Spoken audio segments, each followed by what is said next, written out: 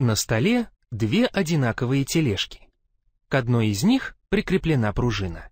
Пружина сжата и связана нитью. Скорости тележек изменяются от нуля до некоторого значения, то есть приобретают ускорение.